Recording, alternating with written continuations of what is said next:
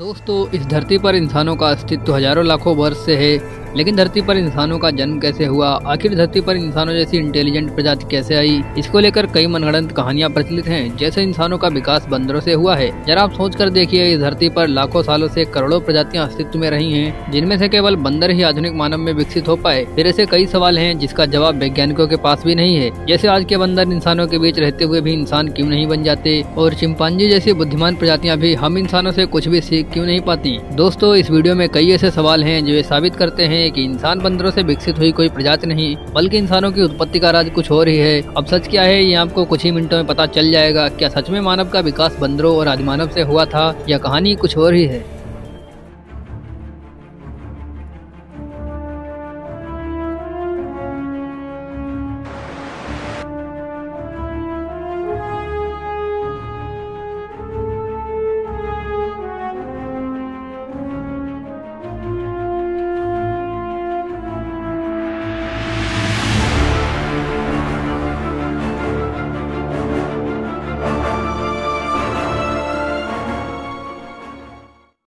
दोस्तों, साइंस की माने तो आज से करीब 40 लाख साल पहले अफ्रीका के पूर्वी इलाके में एक नई पर्वत श्रृंखला का निर्माण हुआ। ईस्ट अफ्रीकन रिफ्ट वैली, ये पर्वत यहाँ आने वाली मौसमी हवाओं के लिए एक अवरोध बन गई थी और इस वजह से यहाँ के जंगलों में बारिश आनी बंद हो गई। बारिश न आने से यहाँ के जंगल सूखने लगे। साथ ही यही इसी जंगल में रहते थे एप्स। ये पेड़ के ऊपर रहते थे, जहाँ इनको खाने की कोई कमी नहीं थी, जिस वजह से ये हमेशा पेड़ों पर ही रहते थे। लेकिन अब यहाँ समय के साथ साथ सूखा पड़ने लगा। बिना बारिश के जंगल पूरी तरह साफ़ हो गए। एप्स के लिए खाने की समस्या उत्पन्न हो गई। खाने की तलाश में इन्होंने पेड़ों से उतरने का निर्णय लिया, जो कि थे आर डी पिथेकस रेमिडस। दोस्तों, ये हमारे पूर्वज थे जिन्होंने बहुत बड़ा निर्णय लिया था। इनका दिमाग एक संतरे जितना बड़ा था और आकार में चार फीट लंबे होते थे। कई हज़ार सालों के विकास कांड के बाद हमारे पूर्वज अब दो पैरों पर चलने लगे। इसे ऊर्जा कम खर्च होती थी और ये चलते हुए भी खा सकते थे, और इनका दिमाग भी तेज़ी से बढ़ रहा था। दोस्तों, ये धीरे धीरे होशियार बन रहे थे। समय के साथ साथ विकास की प्रक्रिया चलती रही। हमारे पूर्वज धीरे धीरे विकसित होने लगे और इनका दिमाग भी धीरे धीरे बड़ा होने लगा। इसके बाद इन्होंने पत्थरों से हथियार बनाना सीख लिया, अब शिकार करना भी काफ़ी आसान हो गया था। समय के बीतने के साथ साथ हमारे पूर्वजों ने आग को काबू में करना सीख लिया। आग की खोज हमारे पूर्वजों के लिए सबसे बड़ी खोज थी। ये उन्हें गर्मी, रोशनी और अंधेरों में सुरक्षा देती थी और उसी वजह से अब परिवार भी बनने लगा। आग में पका मांस चबाने में कम ऊर्जा खत्म होती थी और इसी वजह से ये ऊर्जा अब उनके दिमाग में खर्च होने लगी और धीरे धीरे इनसे मानव का विकास हुआ। अब दोस्तों जब जब आप पढ़ने या सुनने में आता है कि इंसान पहले बंदर था या हमारे पूर्वज पहले बंदर थे और फिर धीरे धीरे उसने खुद ही सब कुछ सीख लिया और आज इतना बड़ा वैज्ञानिक युग भी ले आए। तब सिवाय आश्चर्य के कुछ और नहीं होता। खासकर ये देखकर भी कि आज किसी खासकर यह देखकर भी कि आज किसी भी बंदर को इंसान बनाने की कोशिश में खुद इंसान ही मदारी बन जाता है। लेकिन बंदर में नाम मात्र का भी बदलाव नहीं आता। मनुष्य के विकास क्रम की इस वैज्ञानिक थ्योरी को लेकर हमारे मन में कुछ सवाल हमेशा से रहे हैं, जिनके जवाब मुझे आज तक नहीं मिले। लेकिन अपने सवालों का ज़िक्र करने से पहले मैं चार्ल्स डार्विन की इवोल्यूशन थ्योरी और बंदरों से इंसान बनने तक के सफ़र पर आता हूँ। तो आइए जानते हैं, क्या कहती है डार्विन की इवोल्यूशन थ्योरी दोस्तों, डार्विन के हिसाब से जो जीव बदलते माहौल या वातावरण में खुद को ढाल सके, वही जीवित रह सकता है और वही विकास के क्रम में आगे बढ़ सकता है। क्योंकि परिवर्तन तो प्रकृति का नियम है। दोस्तों, चार्ल्स डार्विन ने एवोल्यूशन की यह थ्योरी फिंच पक्षियों को देखते हुए दी थी।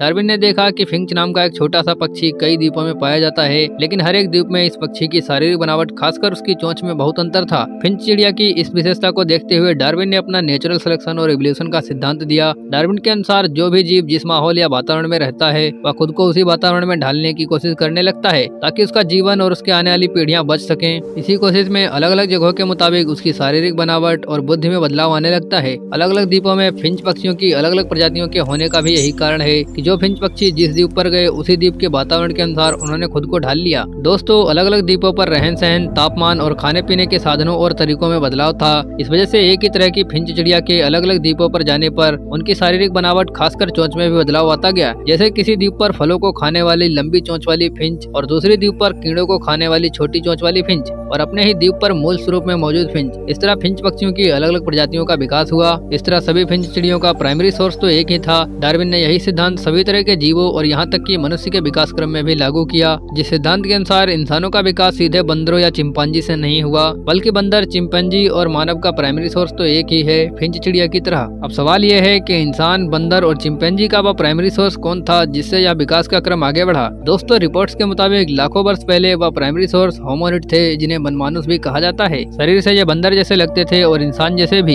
ये झुककर चलते थे और ज़्यादातर समय पेड़ों पर ही रहते थे। और इसी से इनके हाथ लंबे थे।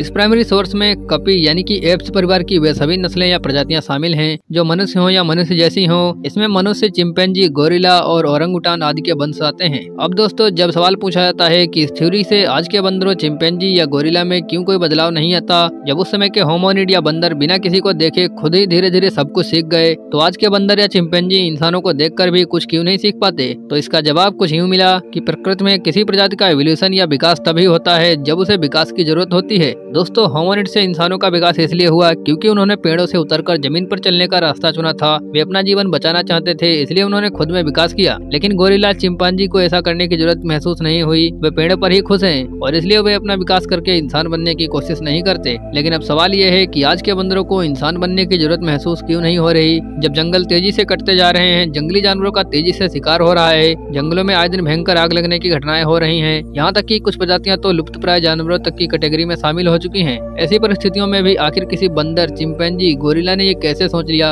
अभी तो हमें विकास की ज़रूरत नहीं है, इसलिए हमें अभी नहीं बनना इंसान। दोस्तों, अगला सवाल है, आज के जंगलों में रहने वाले आदिवासी क्यों नहीं चाहते कोई बदलाव? दोस्तों, अगर आप अफ्रीका के जंगलों में जाकर देखेंगे तो पाएँगे कि आज भी जंगलों में जो आदिवासी रहते हैं, वे किसी भी तरह के दूसरे वातावरण या माहौल को सहन नहीं कर पाते, और न ही वे अपनी स्थिति में बदलाव लाना चाहते हैं। अंडमान, निकोबार, द्वीप समूह में रहने वाले जारवा आदिवासियों के लिए कहा जाता है की ये आदिवासी करीब पचास हज़ार सालों ऐसी मुख्य समाज ऐसी कटकर जंगलों के बीच रह रहे हैं और बेहद खतरनाक है। अगर जंगलों में रहने वाले आदिवासियों को शहरी वातावरण में लाने की कोशिश की जाती है तो वे ज़्यादा दिनों तक जीवित नहीं रह पाते। आप भी देखते होंगे की जिन बंदरों को शहरी वातावरण में लाकर कई सुख सुविधाएँ दी जाती है और इन्हें इंसानों की तरह जीना सिखाया जाता है, वे इंसानों की तरह रहने के बजाय और भी कमज़ोर होते चले जाते हैं। तो फिर इस बात पर यकीन कैसे किया जाए कि उस समय जंगलों में रहने वाले बंदर ज़रूरत के हिसाब से धीरे धीरे अपने आप ही सब कुछ सीखते चले गए और उनमें इतना बड़ा अंतर आता चला गया। इसी के साथ आज आप किसी तेज दिमाग वाले व्यक्ति से भी पूछ लें। जब तक कि उसने आग जलाने का तरीका किसी से सुना ना हो, तब तक क्या वह यह बात जानता था कि दो पत्थरों को रगड़कर आग जलाई जा सकती है? क्या वह बिना प्रैक्टिस के दो पत्थरों से आग जलाकर दिखा सकता है? लेकिन जिन आदिमानवों के दिमाग का विकास भी नहीं हुआ था, उन्होंने अपने आप ही आग जलाना सीख लिया। यह बात कहीं तक भी सही नहीं लगती। दोस्तों, तीसरी बात कि जानवर और पक्षियों की कई ऐसी प्रजातियाँ हैं जो हज़ारों लाखों सालों से आज तक अपने स्थान पर आए मौसमी बदलाव की वजह से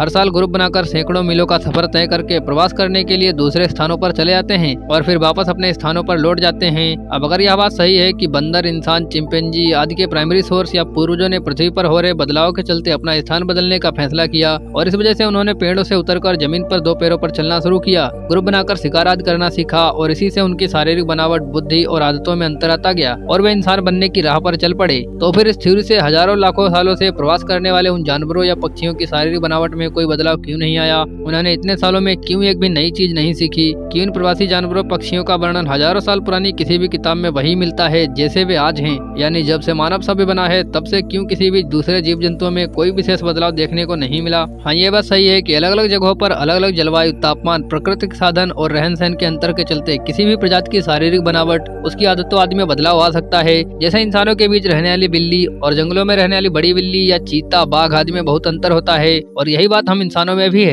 लेकिन यह अंतर इतना बढ़ जाए कि कोई जानवर ही इंसान बन जाए या किसी प्रजाति की पूरी तरह पहचान ही बदल जाए, इस बात पर यकीन करना बहुत मुश्किल है। दोस्तों, आपकी क्या राय है? इस वीडियो के कमेंट सेक्शन में ज़रूर देना और इस वीडियो को भी अपने फ्रेंड्स में शेयर कर देना। और जिन्होंने अभी तक इस चैनल को सब्सक्राइब नहीं किया है, वो प्लीज़ इस चैनल को भी सब्सक्राइब कर लें।